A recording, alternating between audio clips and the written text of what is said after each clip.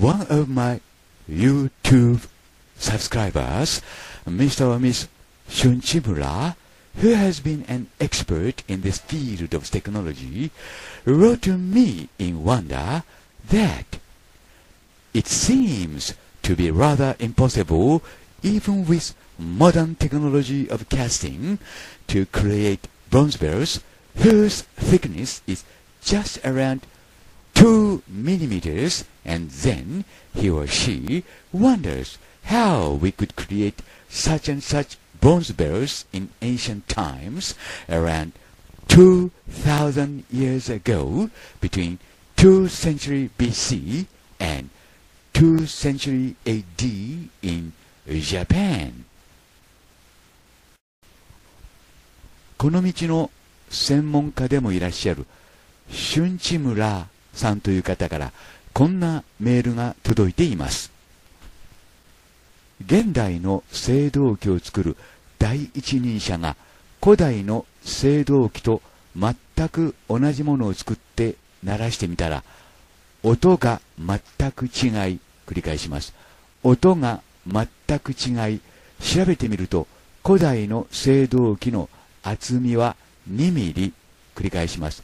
厚みは2ミリ現代の技術では5ミリが繰り返します。5ミリがやっとです。どうやって作ったのか謎です。私はジュエリーの企業にいましたが地球上ではリングなどを鋳造で作ると必ず巣穴という穴ができてしまいます。振動させながら穴ができないように鋳造しても地球上には重力があり巣穴ができてしまうようです。あんな小さなリングやピアスに穴ができてしまうのに大きな青銅器に巣穴ができずにたった2ミリの厚さのものを作る技術が古代にあったのかどうか不思議です。材料が青銅だから巣穴ができずに2ミリという厚さを実現化できたのかあるいは無重力状態で鋳造したのか。だとしたら地球上で作ったものではない。無重力の環境で作ったと考えてしまいます。でもここで言う再現は10年前の技術でしたので現在の樹脂を使った鋳造なら2ミリ厚の青銅器も再現可能かもしれないですが古代に樹脂があったのでしょうか。謎でしかありませんと。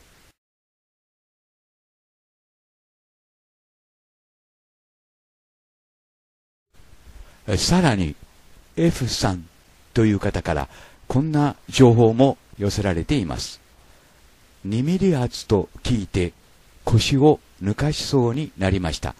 プラスチックやシリコンの成形には未重防止のため金型内も真空にして行う方式もありますし高圧力で材料を流し込む方法もありますがあれだけの大きさで鋳型を作るのが今の技術今の技術が上じゃないかも。でも難しい。今はコンピューター制御の加工機もありますので3次元加工もできますがあの大きさでは無理でしょうね。繰り返します。無理でしょうね。さらには内型と外側の隙間2ミリということはもしできたとしても1決めピンのようなものがないとできないはずなので恐るべき技術です。流し込むにしてもゲートつまり注ぎ口抜け口などの液体の流れの性質を熟知していないとできないはずです。脱型のため離型剤の知識も必要でしょう。ということですね。こうした事実を皆さんはどのようにお考えになるでしょうか？広し林浜祭りジャパ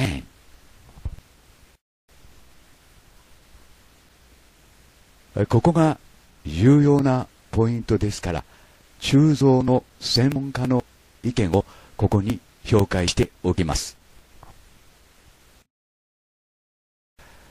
同志社大学元教授の、えー、森光一氏の論文です。その中には次のようにあります。だから、銅鐸は明らかに意識的に銅プラス、鈴プラス、鉛、場合によってはさらにもっといろいろな金属も若干混ぜている大変な技術の産物です。弥生人の金属の知識というのはすごいものです。今だったら分析することでわかりますけれども、分析のない時代ですから、大変な技術です。大きさ、形、模様といい、銅プラス、鈴プラス、鉛の成分といい、本物の銅鐸と寸分違わず、復元銅鐸を作りました。ところが、作った久野さんがいつも、この音は実物とは違いますと言っています。現在のトップ技術で作っても厚さが分厚いものしかできないのです。今度、鴨岩倉遺跡で出土した一番いい銅鐸は2ミリです。現在2ミリで全部鋳造で仕上げる技術はありません。繰り返します。現在2ミリで全部鋳造で仕上げる技術はありません。日本のトップレベルの技術者がいくら挑戦してもできないのです。おそらく弥生人のことですから、ふんどしをして歩いていたのかもしれません。しかし、弥生人の持っていた技術力は、今の新幹線が走っている時代のトップレベルの科学者たちでもものによると太刀打ちできないくらい高かったのです。それは英知の塊のような人たちを原始人とか未開人とか野蛮人とは言えないと思ったからです。などなど森光一氏銅鐸と日本文化より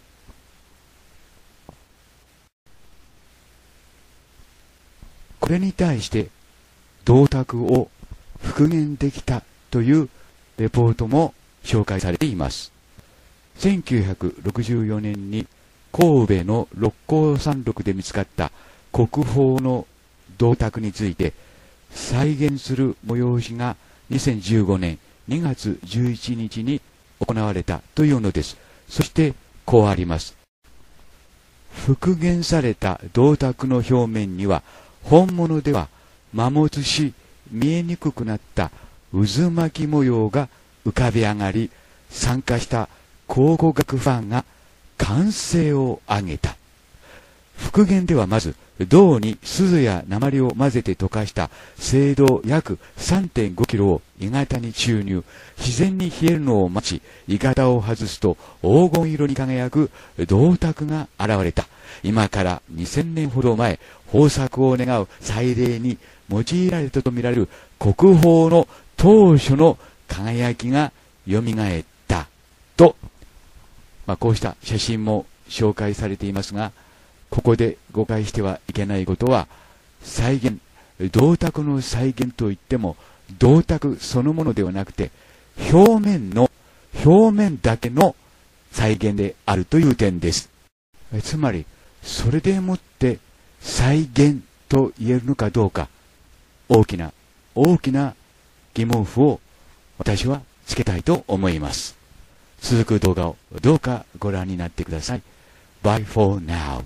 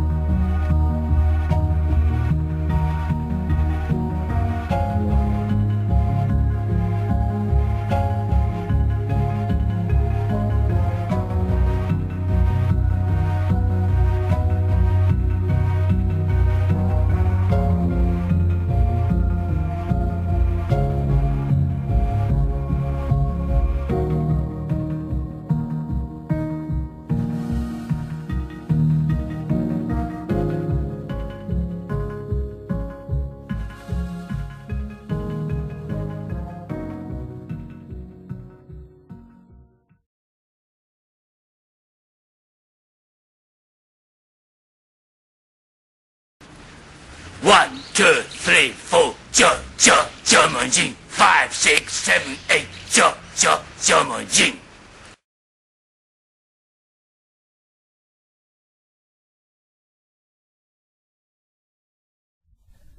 Wikipedia English writes about Dotaku as follows. Dotaku are Japanese bells melted from relatively thin brands and richly decorated. Dotaku were used for about 400 years between the 2nd century BC and the 2nd century CE, corresponding to the end of the Yayoi era, and were nearly only used as decorations for rituals. They were richly decorated with patterns representing nature and animals, among which the dragonfly, praying mantis and spider are featured. Historians believe that dotaku were used to pray for good harvest, enemies of insect pests that attack paddy fields.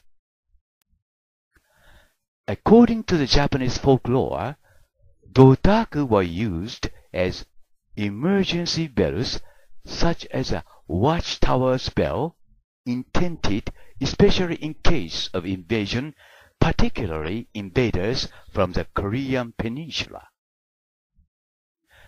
When sentinels spotted invaders, they loudly rang the dotaku as an alarm so that people could hide themselves or their position and to alert warriors to prepare themselves to repel the enemy. ウィキペディア英語版には次のようにあります。銅鐸は比較的薄い青銅を溶かして作られ、豊かに装飾された日本の鐘である。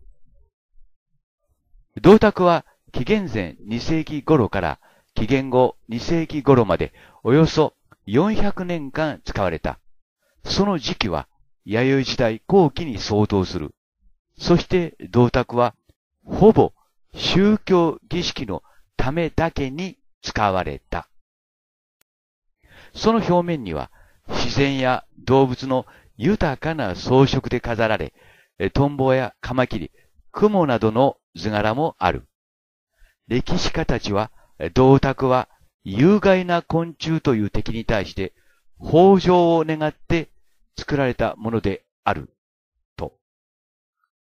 日本の民族学によれば、銅鐸は例えば見張り台の鐘として、特に朝鮮半島からの侵略者に対して侵略された時などの緊急ベルとしても使われていた。見張り人が侵略者を見つけた時、銅鐸を警告として大音響で叩き、それによって人々は身や所有物を隠したり、戦士に対しては警告を与え、敵に反撃するための準備をさせた。広島林浜松市ジャパン。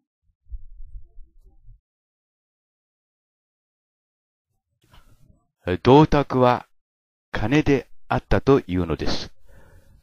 えー、金ですね。で、このように吊るして使ったというのです。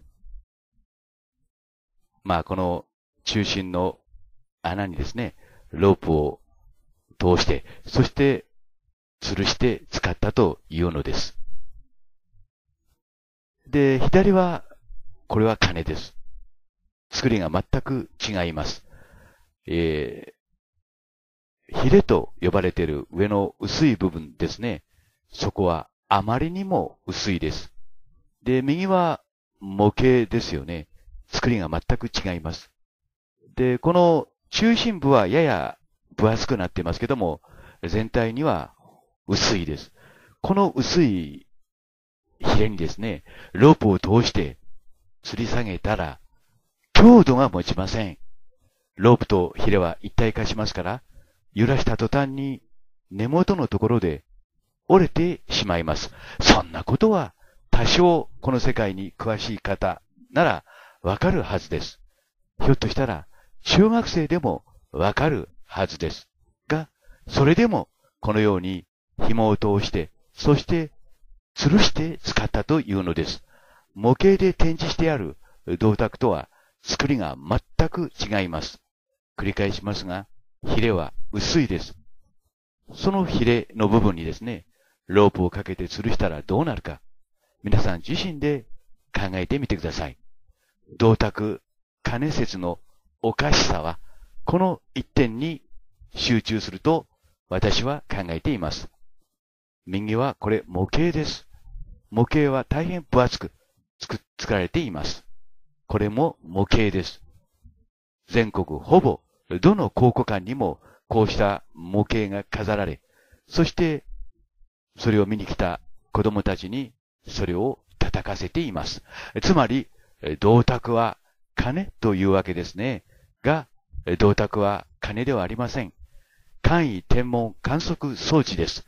バイ林博施設です。まあ、このようにですね、太陽光線を受けて、そして、矛と呼ばれている、これは針なんですけども、それをそこに刺し、そして太陽の高度を知り、一年を知り、季節を知り、月を知り、そして、日時計としても使ったものと思われます。それをこの動画の中で改めて皆さんに説明します。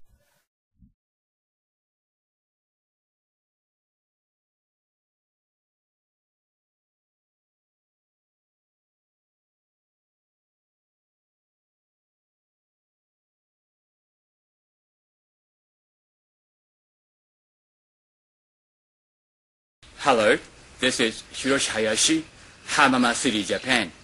Here in this uh, video clip, I'll show you how to use Dotaku, uh, Japanese bronze bell, uh, in the field. 皆さんこんにちは。今日は銅鐸の使い方を説明いたします。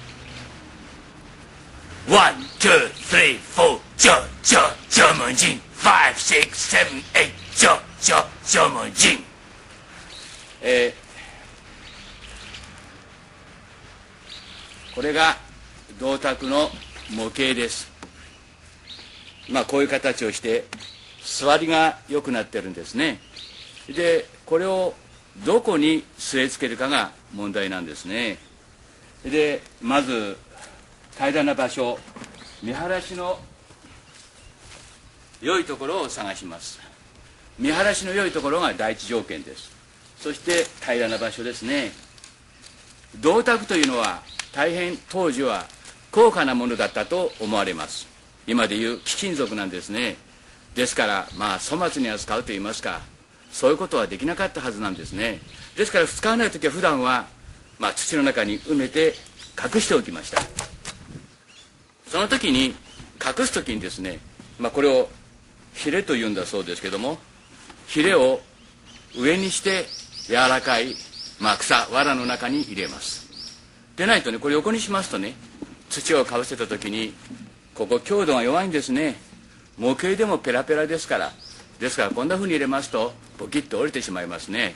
ですから、えー、土の中にしまっておく時には必ずヒレを立ててしまっておきました。まあそれはいいんですけどもこうして銅鐸のまああるわけですけどもこの設置場所なんですね。地盤は硬いほどいいです。もちろん平らな方がいいです。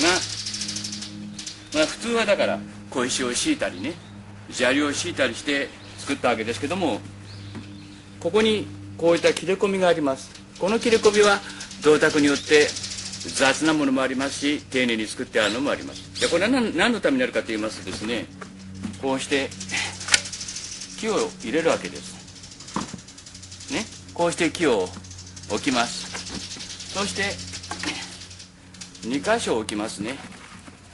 こうしますと仮に地面が柔らかくても下にめり込むことはありません。こうして地面の中地面にこうして置きます。まあ今あの木の上に置いたわけですね。で次に重要なのがこの天文観測装置ではですね水平を取るということが何よりも大切なんですね。水平を取る。ではどうするかというと銅鐸というのはですねこう側面とか前面にはあ模様だとか絵が線がいっぱい描いてあります。しかしこの上面にはツルツルなんですね。なぜツルツルかと言いますと水平を取るためなんです。実験をしてみましょう。これは鍋の底です。まあ銅鐸の上面と考えてください。ここにこうして水を垂らしますね。見えますかね。そしてこれが水平な時は水が溜まります。ところがほんの少し傾いただけでも水は流れていきます。わかりますか？今度こっちへ傾けてみますね。こっち。いいですか？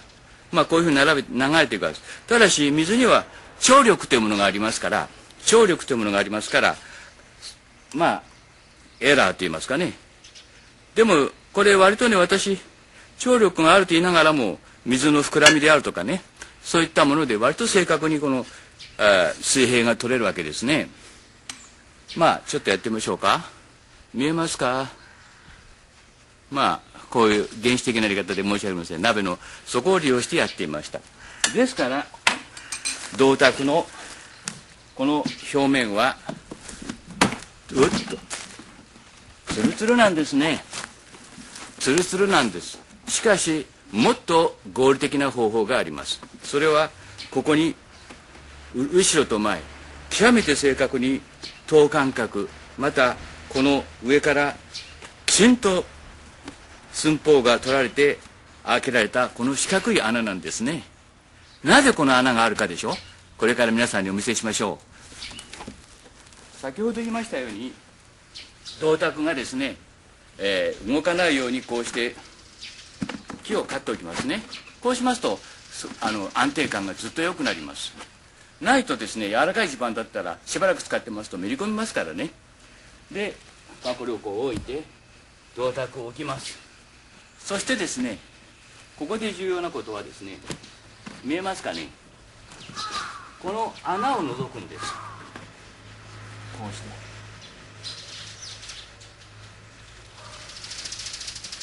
穴を覗きます。もう一度近くでやってみますね。こうして穴を覗きますそうすることによって向こう側の穴を見ることができます。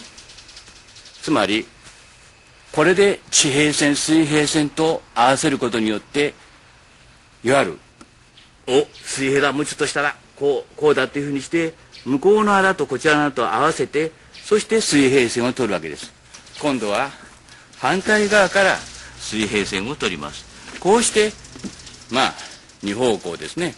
斜めにも取れなくはないんですけどもね。こうして、えー、まあ合計8方向から水平線を取ります。これが銅鐸の使い方の基本なんですね。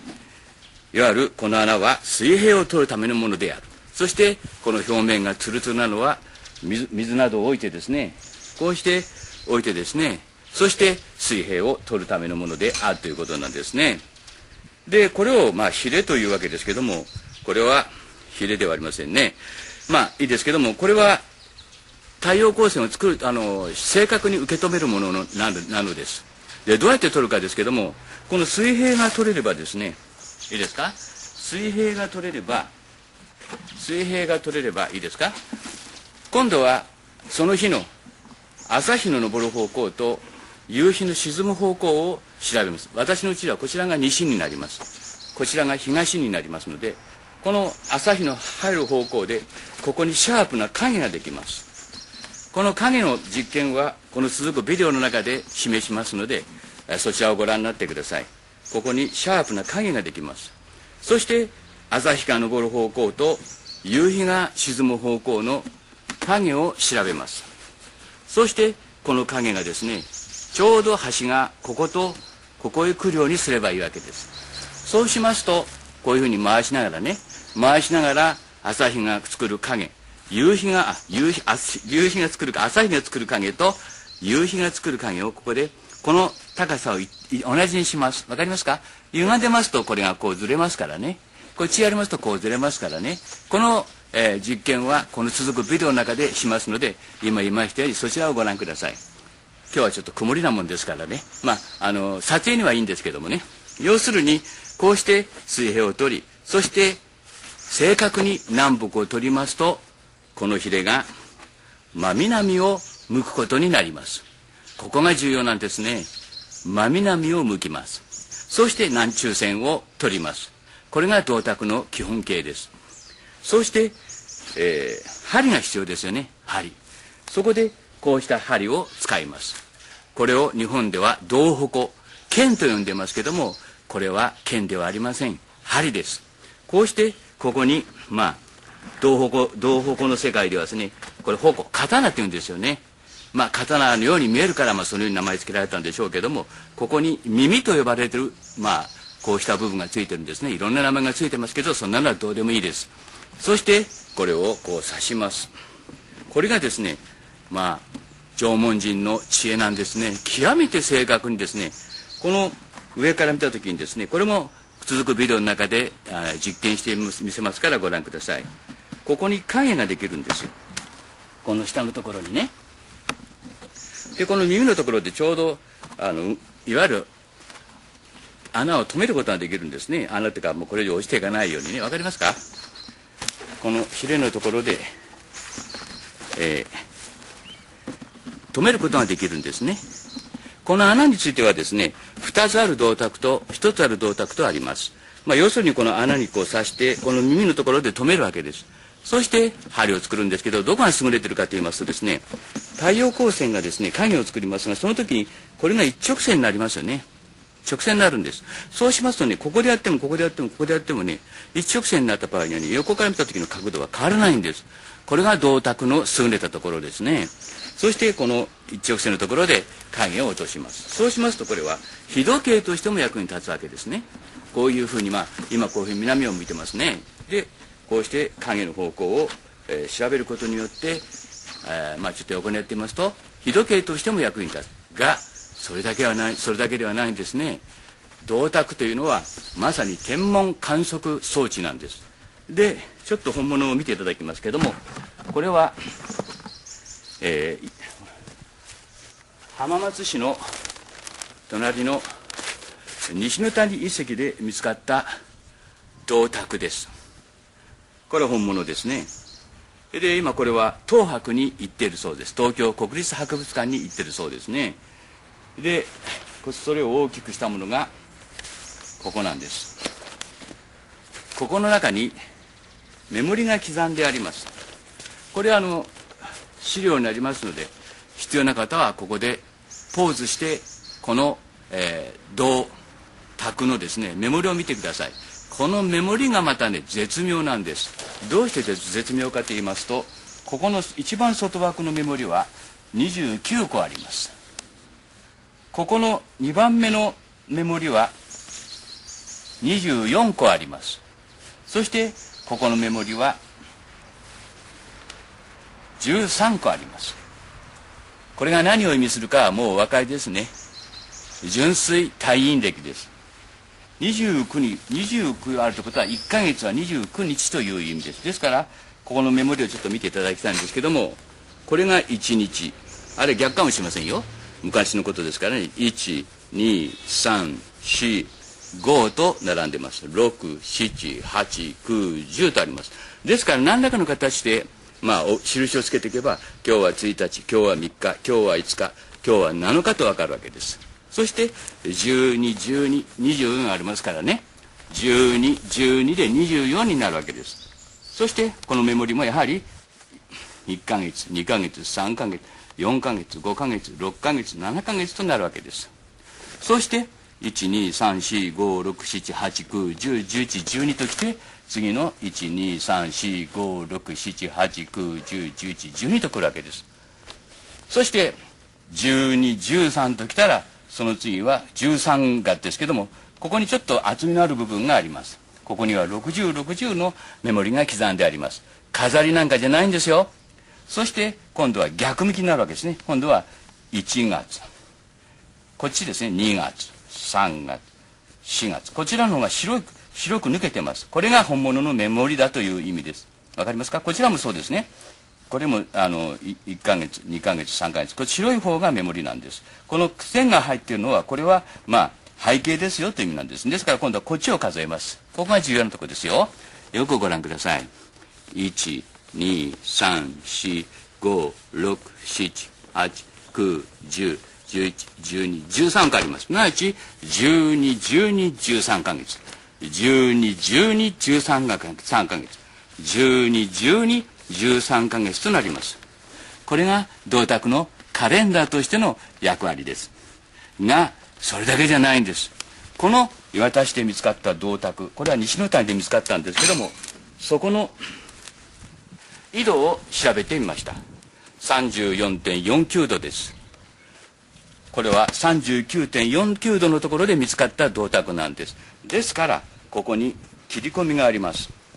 この切り込みとこの中心角の角度を取りますとまあこれはあの分度器で取ったんであまり正確じゃないかもしれませんけど、まあ、プラスマイナス1度前後のエラーはありますが54度なんです。このこの角度がですね54度なんですね。わかりますか？ということはここの切り込みのあるところはちょうど秋分春分の時の太陽の南中高度になるわけです。わかりますか？古代人の気持ちが。ここが重要なんです。古代人の気持ちになって考えてください。銅鐸といってこれは金なんかじゃない。今でいう貴金属なんです。大変な、まあ、高価なもんだったんですね。それを村人たちが一生懸命お金をってか、まあ、その何かを出し差し出して交換して手に入れたもんなんです。そんなもので楽器にしてして叩くと思いますか？まあそれは私の批判ですけども要するにここにまあここに切り込みがあるということはこれはその秋分春分の時の太陽の南中高度を指します。そして太陽がこの位置に来た時にですね真南これ真南に向いてますからねヒレは。でこの時来た時に「おい春だぞこれから田植えだぞ秋だぞ収穫祭だぞ」と言って村人たちは祭りを祝ったものと思われます。さてこうして、えー、銅鐸はできました。でこれは金なんかじゃない。仮にここに紐をつけてぶら下げたとしたらここの強度が持ちません。これは溶接してるわけでもないんです。そしてヒレというのはこれから皆さんあちこちの銅鐸を見ていただくと分かりますように大変薄いものです。本当にヒレのようになってるんですね。ですからこれがですね鐘のようにこう揺れたらもうガーンと叩いた瞬間にここが折れてしまうと思われます。また叩いたんならここに傷があるはずです。でも銅鐸どれを見ても傷はないんです。で今度は苦肉の策として中に振り子をつけたというわけですね。そうしましたら中にも傷があるはずですしまあ熱いと言っても薄いもんですからガンガンガンガンやってればねあの傷がつくはずです。しかし中はまあ私は残念ながらあちこちで見せてほしいということを懇願したんですけどもまあ見せていただけませんでした。そしてこの穴は2つありますけどもこの穴は言うまでもなくまあこうして銅矛ですね。これは針ですよ皆さん。あの死者に弔うために出たあの刀であります。それは現在の発想ですからね。まあ、要するにこの穴は覗くそして今もう一度言いますとここが絶妙なんですよ皆さん。いいですか？これが29日あります。1ヶ月は29日です。純粋単位歴です。そして1212 1巻1年目2年目。そして13ヶ月で3年目。121213でやった。そしてここに切り込みがあるのは今言いましたようにちょうど54度のところにあります。これは岩田市この銅鐸が発見された岩田市の西の谷の秋分春分のいわゆる太陽の南中高度と一致するわけです。えー、ということで銅鐸の使い方簡単に説明しましたので続くビデオをどうかご覧になってください。Thank you very much for watching and see you again next time. Bye.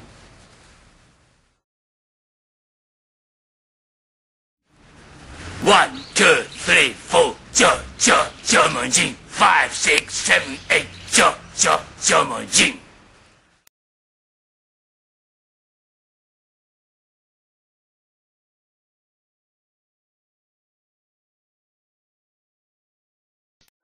そして銅鐸の両側には上から下にヒレがついています。そのヒレは何のためかと言いますと、私はこのように考えています。最初の時はですね、銅鐸をこのように据え付けて、東西南北をしっかりと、まあ、決めます。その時にですね、この銅鐸のヒレに合わせて石のような、例えば目印のようなものを置いておきます。まあ、こうしてマーキングストーンを置くわけですね。そして使わない時は銅鐸をしまっておきます。そしてまた次にですね、2回目の時、あるいは2回目以降にですね、銅鐸を使う時にはそのマーキングストーンに合わせて、まあ、つまりヒレに合わせて、その銅鐸をもうすねつけ直せばですね、まあ、それまでの手順を、まあ、東西南北を取るという手順をこのようにして省略できるというわけです。まあ、銅鐸のヒレは、この、そのためにあったものと、林博士は考えています。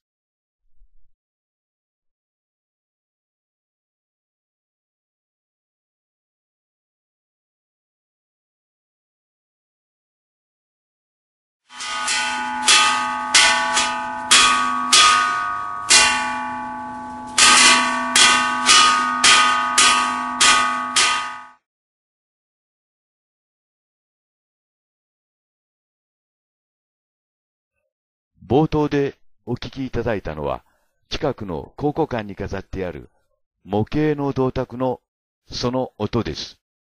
模型です。考古館にはほとんど毎日のように小学生や中学生がやってきて、その鐘を叩いています。カンカンカンとです。そして無意識のうちにも銅鐸は鐘だと思うようになります。つまりこうして子供たちの常識は作られていきます。が、本当にそうでしょうか？それで良いのでしょうか？本当に金なのでしょうか？この模型の銅鐸を見ただけでもおかしな点はいくつかあります。その第一、模型の銅鐸と本物の銅鐸はまるで違います。模型の銅鐸はがっしりとしています。特に上部のヒレと呼ばれている部分と、下の金の部分との接合部が違います。また、本物の銅鐸では、ヒレと呼ばれている部分が薄いです。本当に薄いです。中央部でやや盛り上がっていますが、上縁部や下縁部は薄い。本当に薄い。指先の力でも曲がるのではないかと思われるほど薄いのです。そんなヒレにロープを通し、木に吊り下げて叩いたらどうなるか。銅鐸のヒレは揺れた瞬間、付け根の根元のところで折れてしまうのではないでしょうか。根元は溶接しているわけでも何でもありません。また、ロープを通して木に吊り下げたのなら、その痕跡が残っていてもおかしくありません。あくまでも見た感じですが、指先の力でも曲がると思われるほどヒレの付け根部分は薄いのです。が、そんな痕跡はどこにもありません。ロープを通したという痕跡はどこにもありません。一方、模型の銅鐸の方は全体にがっしりとしている。どうがっしりしているかは皆さん自身で近くの考古館へ行き確かめてみたらよいかと思います。ほぼ全国のどの考古館にもそれが展示されています。一方、本物の銅鐸の方はそうでない。薄い。本当に薄い。つまり、ここに銅鐸の謎が集約されていると私は思います。が、この謎は銅鐸の謎だけでは収まりません。つまり、私たちが持つ常識の謎です。で、あのアインシュタインはこう書き残しています。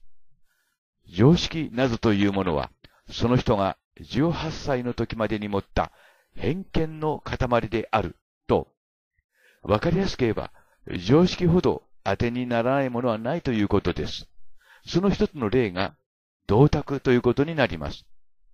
金だから金と、銅鐸の鐸は金という意味です。だから金と。そして現在、高校館へやってくる子供たちにしてもそうです。模型の銅鐸を叩き、やっぱり金なんだ、と、そう思い込んでしまいます。つまり、こうして子供たちの常識が作られていきます。が、常識が悪いというのではありません。その常識があるからこそ、私たちはそれを常識としてその上にさらに新しい考えを積み重ねることができます。えつまり、それまでの思考を常識とすることによって、それまでの思考プロセスを省略することができます。が、その一方で、同じ常識が新しいものの考え方を阻害することにもなりかねません。そうした常識をアインシュタインは偏見と言ったというふうに私は解釈しています。言うなれば間違った常識ということになりますが、一つや二つならともかくも、こうした偏見がいくつか積み重なったらどうなるでしょうか？銅鐸だけではありません。例えば、銅鏡。銅鏡は鏡だ。例えば、前方後円墳。前方後円墳は墓だと。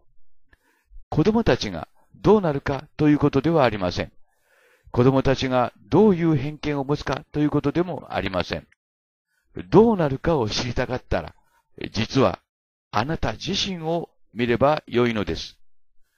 あなた自身はどう考えているかとです。多分、私がこう言ったら、あなたはこう思うでしょう。銅鐸は簡易天文観測装置であったと言ったら、あなたは、そんなはずはない、そんなバカな、と。あるいはさらに一歩進んで、古代人にそんなものが作れるはずがない、それはとおりもなおさず、あなた自身が持っている古代人の常識、つまりイメージと違うからです。私たちが持っている古代人のイメージは、言うなれば原始人。粗末な衣服を身にまとい、木と藁で作ったような家に住み、エンジンとそれほど違い、違わない生活をしていた、と。が、それを私は偏見と言うのです。つまり、知らず知らずのうちに、そうした偏見があなた自身の中に作られてしまったのです。高校館で無邪気に模型の銅鐸を叩き、金だ金だと喜んでいる子供たちの姿を見れば、それがわかるはずです。それは遠い昔のあなた自身の姿です。あなた自身を子供の姿にオーバーラップさせてみれば、それがわかるはずです。が、銅鐸は鏡ではありませんでした。極めて高度な天文学知識を凝縮した簡易天文観測装置だったのです。簡易天文観測装置です。繰り返します。簡易天文観測装置です。それをこの動画の中で詳しく説明しますが、後の判断はあなた自身にお任せします。大切なことは、あなた自身が自分で考え、自分で判断することです。その上で、やっぱり銅鐸は金だということになれば、それもよし。がもしそうでないなら、一度あなたが持っている常識をひっくり返してみることです。作られた常識です。ここが重要です。あなた自身が持っている常識をひっくり返してみることです。途端、あなたはその向こうに今まで見えていなかった世界を見ることになると思います。なお、私がこの銅鐸簡易天文観測装置施設を唱えるようになって、すでに3年になります。2013年の6月22日、ナンバー343で発表しました。今ご覧いただいているのがそのナンバー343です。当時は辛辣な批判というより、誹謗が数多く届きました。とんでもせすと呼ばれ、あちこちで叩かれました。が、今は理解してくださる人も増え、当時のような激しい批判は影を潜めました。が、なくなったわけでもありません。今でも時々あります。つい先日もありました。ですから今、こうして改めて、銅鐸簡易天文観測装置施設の動画を皆さんに送ります。その使い方も詳しく説明します。なお、最後に一言。未だに銅鐸は金だと主張している考古学の先生たち。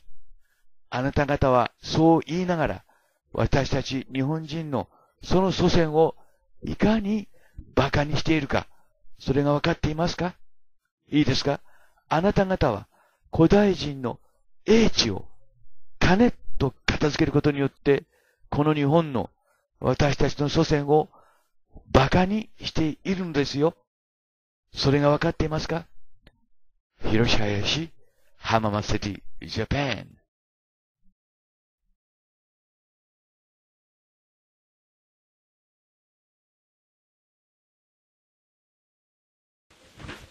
One, two, three, four, jo, jo, jo, jo, jo, jo, jo, jo, jo, jo, jo,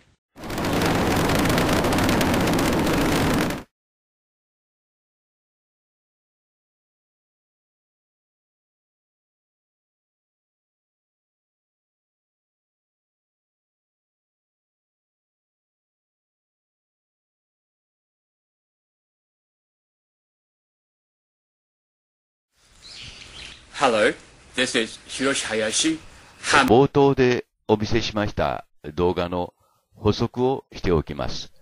えー、簡易天文観測装置としての銅鐸、あるいは簡易天文台としての銅鐸のポイントは2つあります。1つは水平をしっかりと取るということです。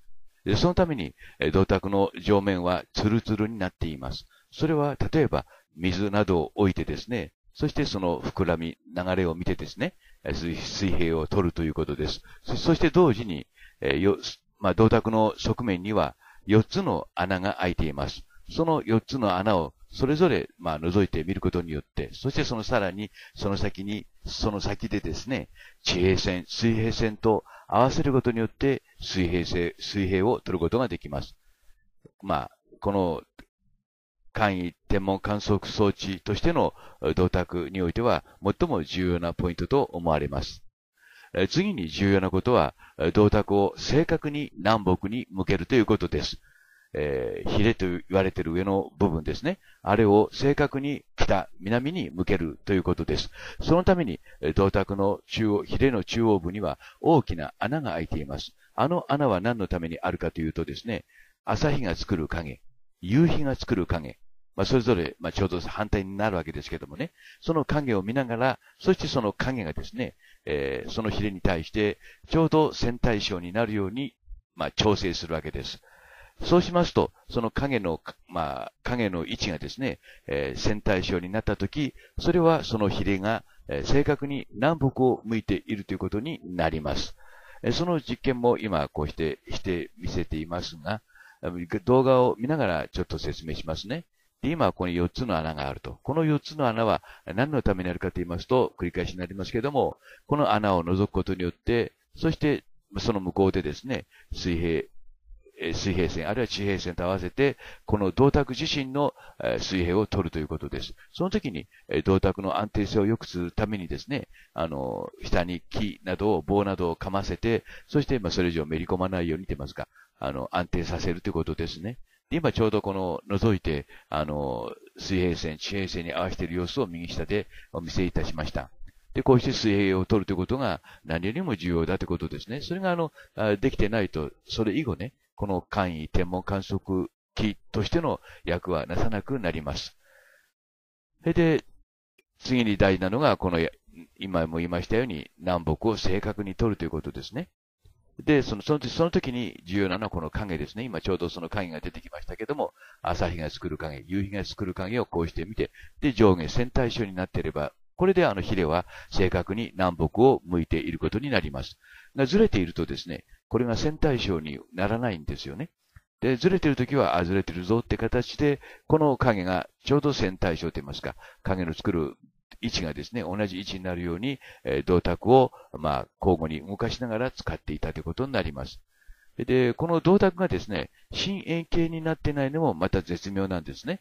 円形ですと、まあ、今度二度目に使うときにね、マーキングストーンに対して、あズレが、あの、生じやすいですからね。まあ、そういったこともいろんな意味で、あの、この銅鐸の中には、その秘密が隠されているということです。まあ、こうして針を置きますね。そうしますと、直接太陽を見て、あの、コードを知らなくても、その薄っぺらい、その矛と言われている針の影がですね、一直線になることを見ながら調整すればですね、目を痛めることもないんですね。あの、いわゆる太陽の方向を向けると言ってもですね、その、この今ちょうど作ってますね。そのヒレが、あの、いわゆるその同方向のヒレが作る影が一直線になれば、太陽の方向を向いているということになるわけです。で、そのまたこの優れているところは、あの、動画の中でも言いましたように、この影が一直線になっていればですね、まあ横から見れば、あの、その、多少その、えー、同方向がですね、ヒレから離れていても、太陽の高度が正確に取れるということです。まあ、そういったその優れたその機能がですね、この銅鐸の中には、凝集されているということになります。で、今このメモリを説明してますけども、一番外側が29個ですね。1ヶ月、まあ、単位歴、単位歴における1ヶ月の日数を示しています。そして上から2段目が24個あります。白抜きの方が、あの、メモリなんですよ。波線が入っている方は、これは、あの、飾りということになるわけです。で、これがですね、同、まあ、私たちが同鏡と言っている、えー、鏡の中のメモリと、あの、いわゆる、まあ、コンセプトが同じであるということですね。で、同鏡がですね、いわゆる、まあ、極めて優れた、え天文計算機であるという証明は私、林博士がいたしました。それと同じコンセプトで作られているというふうに注意してください。今ここで、えー、皆さんにご覧いただいているのは、一番外側が29個で12、12、そして一番上、下が13個だあメモリがあるわけですね。これは12ヶ月、12ヶ月、13ヶ月。12ヶ月、12ヶ月、13ヶ月を繰り返すという純粋単位歴に基づいているものだものだということですね。ということは29日かける12をしますとね、これは348になるわけです。そうしますと、まあ1年で、今私たちが使っている365を基準にしますと1、1年で17日のズレが生じてきます。2年で34日のズレが生じてくるわけですね。で、34日を調整するために、3年目は13ヶ月にして調整していくっていうのが、純粋単位的のやり方、やり方って言いますか、方式なんですね。それを、まあ、あの、調整するために、12、12、13というメモリになっているということになります。で、まあ、これがまあ、今ここで何を説明しているかというと、最初に言いましたように、このヒレは本当に薄いですよ。あの、中央部が厚いですよね。光を受けるために。で、この根元の、根元って言いますか、この全体は薄いですね。ですからこれ叩いたら、強度が持たないということですね。で、苦肉の策として、どのように説明されているかというと、中にヒレをつけて叩いたって言うんですよね。それは西洋ベルの発想ですけどもね。あの、いわゆるその、はい、西洋のベルの発想ですけども、まあそれはいいんですけども、要するに、まあ、で、まあ、ヒレがですね、えー、去年でしたかね、2015年の夏頃、淡路島でその金属製の、まあ、板が見つかったと。で、即座にまあ、あの、それはヒレだというふうに断定されてしまいましたけども、本当にそうかなという疑問は強く残っています。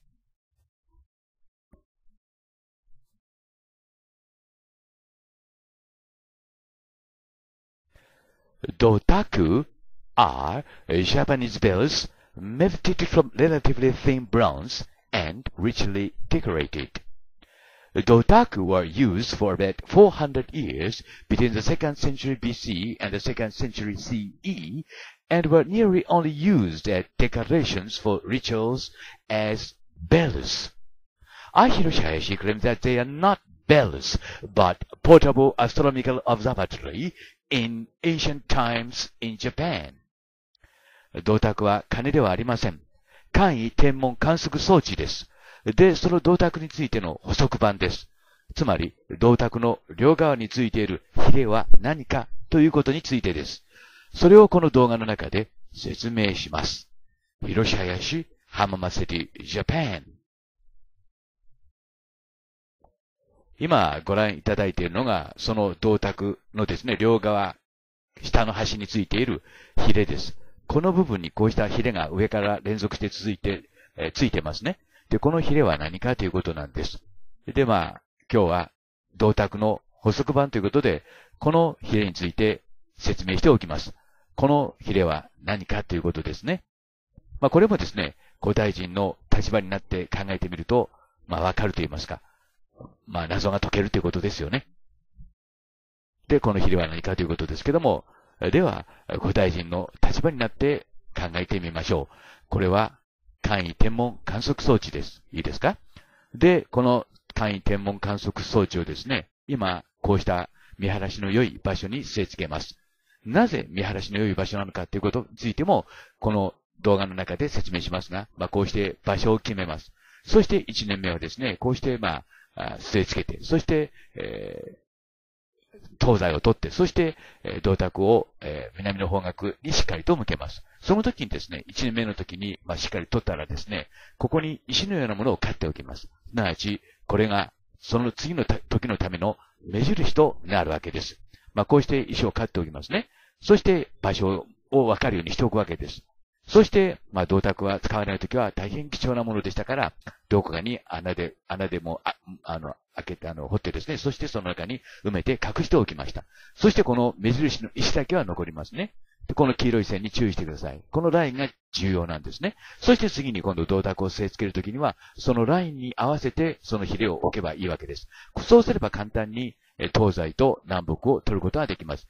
すなわち、まあ、この銅鐸をですね、据え付けるための、まあ、手順をですね、こうして省略することができるということです。これがそのヒレの目的ということになります。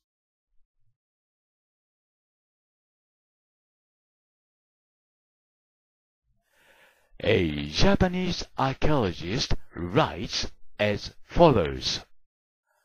Dotaku, or ceremonial bronze bearers, were kept buried in hillside sanctuaries away from everyday village life and were brought out only for use in certain agricultural rituals.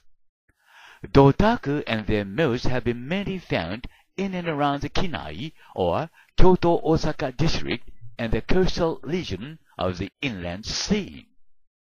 Then I, Hiroshi Hayashi, would like to ask you again here in this video what Dohoko or bronze swords are in association with Dotaku or bronze bells.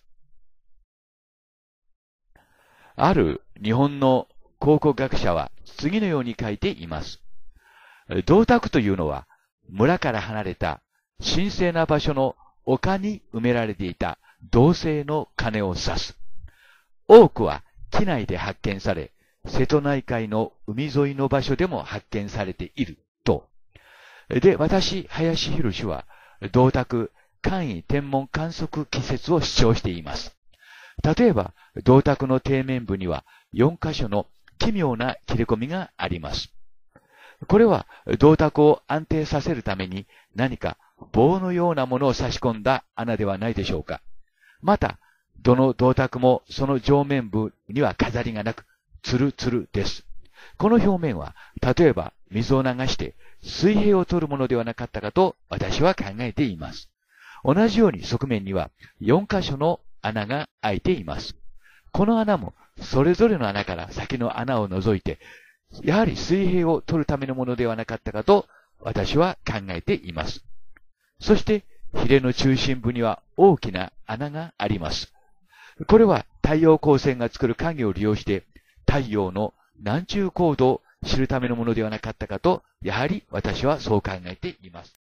そして、銅鐸の両側には上から下にヒレがついています。そのヒレは何のためかと言いますと、私はこのように考えています。最初の時はですね、銅鐸をこのように据え付けて、東西南北をしっかりと、まあ、決めます。その時にですね、この銅鐸のヒレに合わせて石のような、例えば目印のようなものを置いておきます。まあ、こうしてマーキングストーンを置くわけですね。そして使わないときは銅鐸をしまっておきます。そしてまた次にですね、2回目の時、あるいは2回目以降にですね、銅鐸を使うときにはそのマーキングストーンに合わせて、まあ、つまりヒレに合わせて、その銅鐸をもうすれ付け直せばですね、まあ、それまでの手順を、まあ、東西南北を取るという手順をこのようにして省略できるというわけです。まあ、銅鐸のヒレは、この、そのためにあったものと、林博士は考えています。その時利用したのが針。つまり現在、私たちが銅矛と呼んでいる針ということになります。つまり銅鐸は全体としてカレンダー及び簡易天文観測機として機能していたということになります。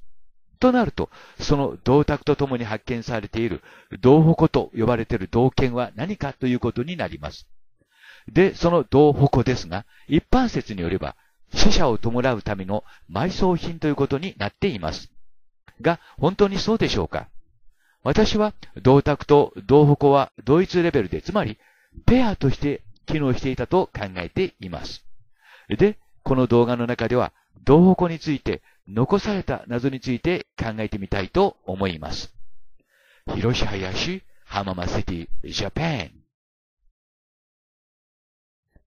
では、道矛について考えてみます。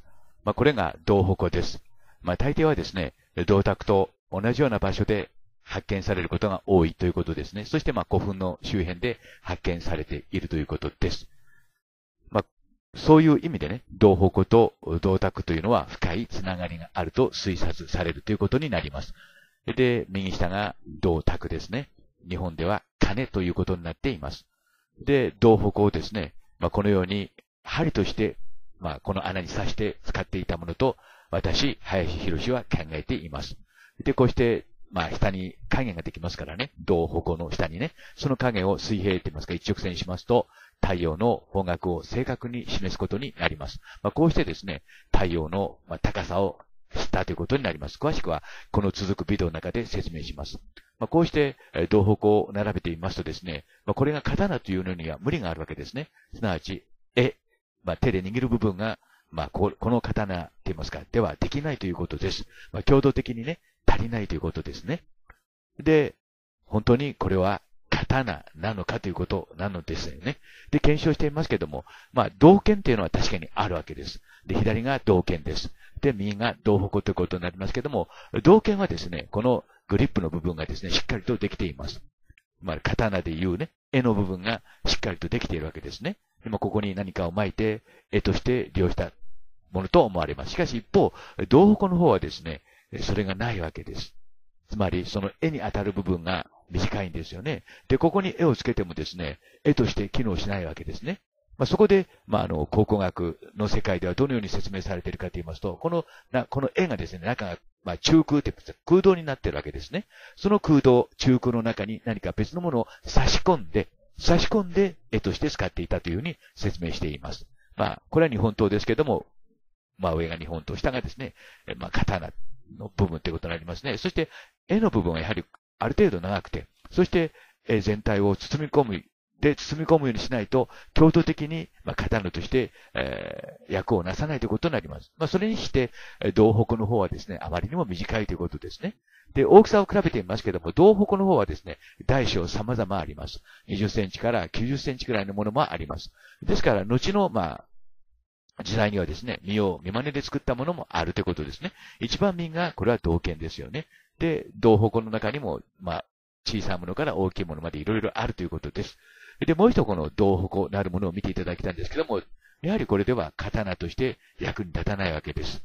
そこで、まあ、この一般説としましてはですね、中空、中が中空になってますから、その、まあ、いわゆるストローのようになってるわけですね。で、その中に別のものを差し込んで使ったっていうんですけども、それでもおかしいんですね。わざわざなぜそのような面倒なことをしたかということにもなるわけですしね。非常にまあ、非現実的な説明ということになるのではないでしょうか。ここの部分がですね、中空になっていると。その中空部分に、まあ何かを差し込んで絵として使っていたと。まあそういうことなんですね。だし、こんなことはするだし、するだろうかという、まあ、疑問ですね。これは最後の、まあ、同北に残された謎ということになります。で、ここに何かを差し込んで、まあ、刀として使ったということなんですよね。まあ、はい。後の判断は皆さんにお任せしますが、で、結論ということになりますが、で、もう一度この同北を見ていただきたいと思います。で、これは刀だってことに、まあ、固執しますとですね、その中空のまあ、空間にですね、何かを差し込んで、刀として使ったと。まあ、そういった説明が出てくるわけです。しかしそうではなくて、これは、銅鐸とペアで使われている針だというふうに私は考えています。そうしますとですね、このヒレがなぜ薄薄いヒレのようなものがですね、銅、矛のいわゆるその周りについているかということも説明がつくわけです。こうして太陽光線の方を、太陽の方を向けますと、まあ、あの、しっかりと向きますとですね、下の、えー、接合部の影がですね、えー、一直線になります。その時に太陽の方を向いていたということになるわけです。えー、つまり太陽のコ度をですね、メモリの上で読むことができたということになります。で、最後に残された謎、なぜ中空なのか、まあ一般説によればそこに絵を差し込んで使ったということになっていますけども、それは大変非現実的な説明ということになるのではないでしょうか。続く動画をどうかご覧ください。Bye for now.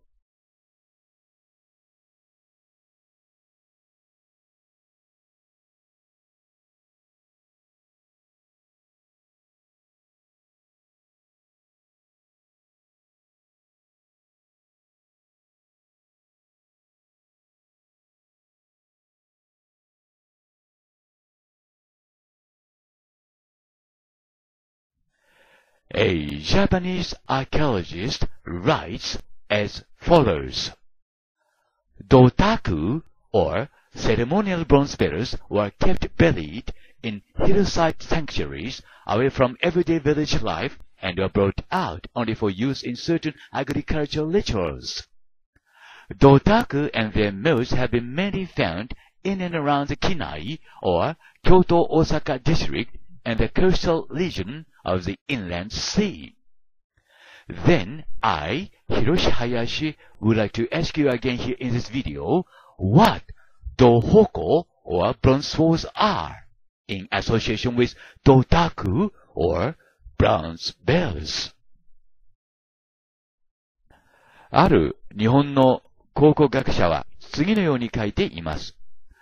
銅鐸というのは村から離れた神聖な場所の丘に埋められていた銅製の鐘を指す。多くは機内で発見され、瀬戸内海の海沿いの場所でも発見されていると。で、私、林博士は、銅鐸、簡易天文観測季節を主張しています。例えば、銅鐸の底面部には4箇所の奇妙な切れ込みがあります。これは銅鐸を安定させるために何か棒のようなものを差し込んだ穴ではないでしょうか。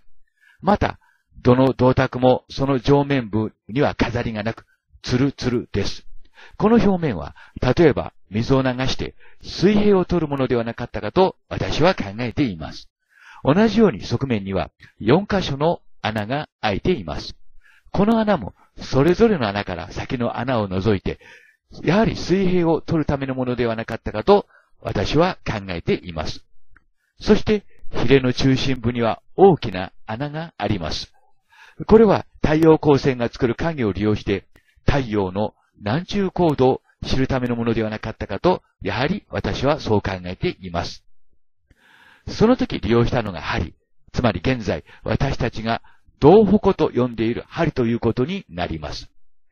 つまり銅鐸は全体としてカレンダー及び簡易天文観測機として機能していたということになります。となると、その銅鐸とともに発見されている銅矛と呼ばれている銅剣は何かということになります。で、その銅矛ですが、一般説によれば、死者を弔うための埋葬品ということになっています。が、本当にそうでしょうか私は、銅鐸と銅矛は同一レベルで、つまり、ペアとして機能していたと考えています。で、この動画の中では、銅矛について、残された謎について考えてみたいと思います。広し林、浜松シティ、ジャパン。では、銅矛について考えてみます。まあ、これが銅矛です。まあ、大抵はですね、銅鐸と同じような場所で発見されることが多いということですね。そして、まあ、古墳の周辺で発見されているということです。そういう意味でね、銅矛と銅鐸というのは深いつながりがあると推察されるということになります。で、右下が銅鐸ですね。日本では金ということになっています。で、銅矛をですね、まあ、このように針として、まあ、この穴に刺して使っていたものと、私、林博は考えています。で、こうして、まあ、下に影ができますからね。銅矛の下にね。その影を水平って言いますか、一直線にしますと、太陽の方角を正確に示すことになります。まあ、こうしてですね、太陽の高さを知ったということになります。詳しくは、この続くビデオの中で説明します。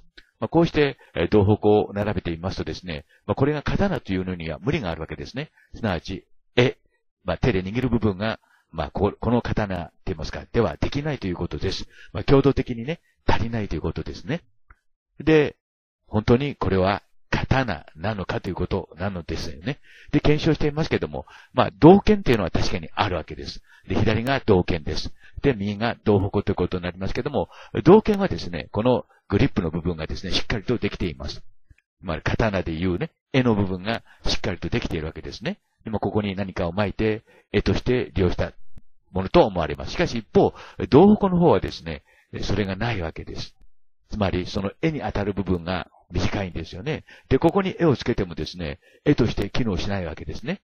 まあ、そこで、まあ、あの、考古学の世界ではどのように説明されているかと言いますと、この、な、この絵がですね、中がまあ、中空って空洞になっているわけですね。その空洞、中空の中に何か別のものを差し込んで、差し込んで絵として使っていたというふうに説明しています。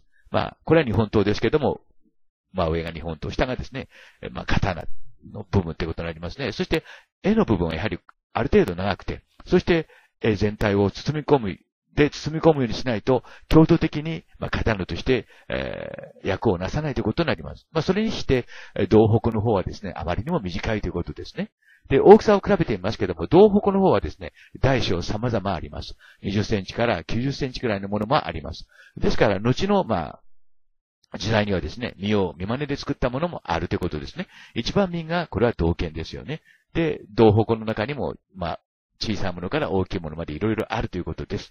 で、もう一個の道北なるものを見ていただきたんですけども、やはりこれでは刀として役に立たないわけです。